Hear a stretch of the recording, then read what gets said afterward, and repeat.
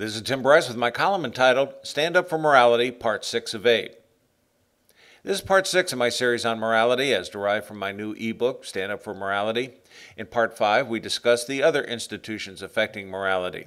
Here in part 6, we will consider some moral problems as an exercise. Let's consider some sample scenarios and determine whether or not they are moral. This can either be done individually or collectively as teams. Allow time for people to think and discuss. Make it competitive if you like. Some are simple, others more complex. All are from real life situations. Problem number one. You happen to find a wallet on the sidewalk filled with a considerable sum of money, but no identification as to the owner. Nobody saw you pick it up or knows you have it. What should you do? A pocket the money and discard the wallet claiming finders keepers. B. Turn it over to the police in case the owner comes looking for it. Take a moment to think about that.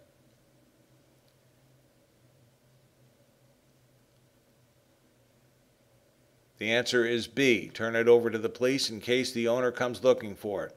But the question is why? Why? What is the moralistic rule here? The answer is respect for other person's property. Problem number two. You are a professional programmer with many years of experience. You have just been hired by a new company and placed on a project to write a program. In designing the software, you realize the logic of the program will be similar to another program you wrote for your previous employer. What should you do? A. You finalize the logic of the program and write the code anew. B. Since you kept copies of the programs you have written on a flash drive, you copy the code from your previous assignments. Nobody will know the difference. Take a moment to think about that. Problem number three. You are a parent of a high school senior and naturally you are concerned about the progress of your offspring. You believe your son or daughter to be a good student. However, the student brings home a high C on an important test. You become concerned the grade will cause the student's grade point average to drop, thereby making it harder to be eligible for a certain college.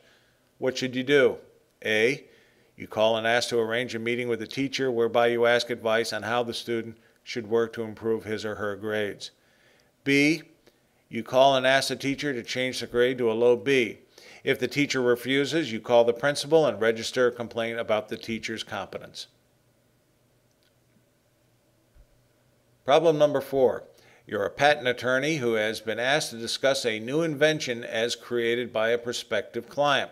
You arrange an initial meeting at your office where you discuss the invention. No non disclosure agreement is signed. The invention is of interest to you as you have a friend who owns a manufacturing company who can build such a product. The invention would be simple to reproduce. What should you do? A. Tell the inventor you do not believe it is a viable product. You and your manufacturing friend then jointly apply for a patent for a similar offering. After all, you did not accept the inventor as a client, nor did you sign a non disclosure. Or B. You inform the inventor you do not have an interest in the product, but provide a reference to another attorney who may be able to help him. The matter is dropped. Problem number five. Commuter traffic is preventing you from getting to work on time. It will also cause you to be late for your weekly meeting where you normally report on the status of your department. You know five other people who will be attending the meeting, all of which are your subordinates. You now realize you will be late for the meeting by at least 30 minutes, maybe longer. What should you do? A. Using your cell phone, you call the office and notify the attendees you will be late. They can either start without you or wait until you arrive. Or B. 30 minutes isn't a long wait. Instead of calling, you decide to focus on driving to work as quickly as possible. Problem number six. You are a clerk in a cigar store. Mr. Smith is one of your regular customers. He appreciates your efforts, and even though he is under no obligation to do so, he always gives you a $5 tip for the cigars he purchases. One day, Mr. Smith is in a hurry and in signing his credit card receipt, he forgets to add a tip and total. Before you can catch him, though, he is gone. What should you do? A. Knowing he will not mind, you add the $5 tip to the receipt and total it accordingly. Or B. you live the tip blank and use the subtotal as the total. Problem number seven. You're a 24 year old male office worker. You joined a company straight out of college and are enthusiastic about the mission of the business, its products and services. Although your immediate boss is easygoing, the department's senior director is older and very straight laced.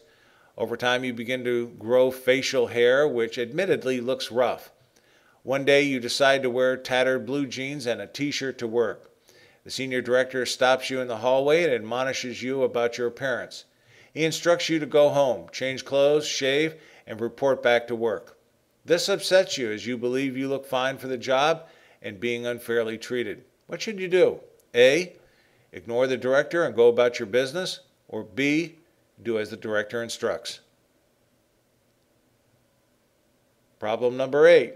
You are a talented illustrator who produces artwork for magazines and books.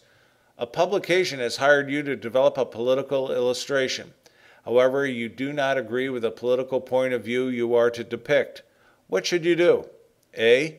Produce an illustration in accordance with the specifications of the publisher.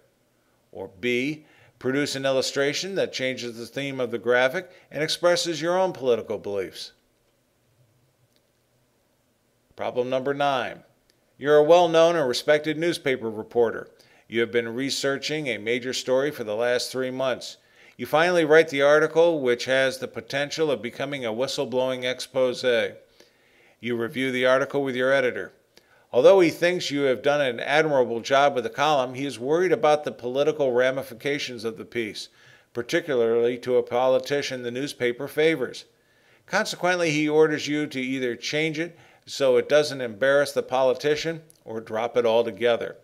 This offends you as you realize this is an important subject which the public should be made aware of. What should you do? A. Do as your editor instructs. You either change it or drop it.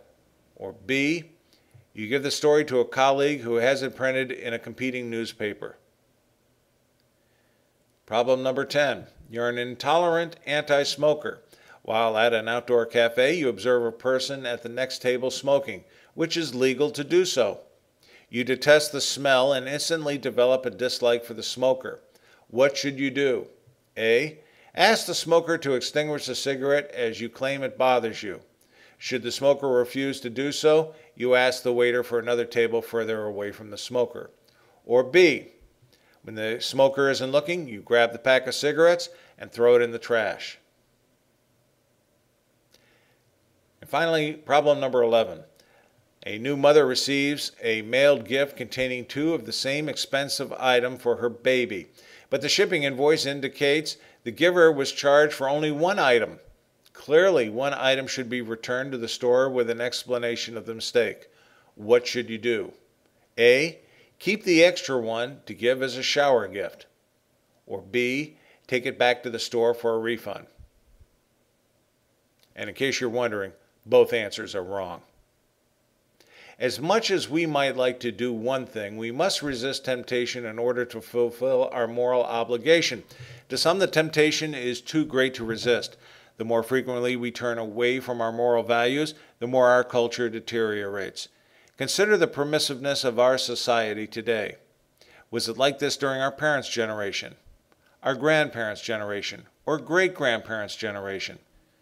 I'm fortunate to have witnessed five generations in my family. Each had their own unique perspective of morality and sense of tolerance. Some of the differences were subtle, such as drinking, smoking, and language. Others were more pronounced, such as their perspectives on citizenship, patriotism, love, assisting others, and so on.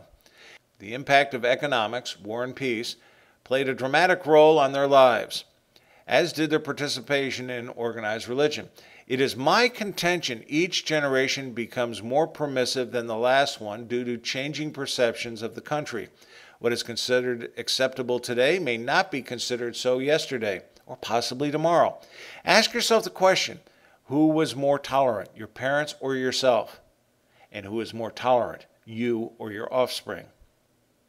Next time, in part 7, we will discuss simplifying complex moral problems and make some more observations about the properties of morality.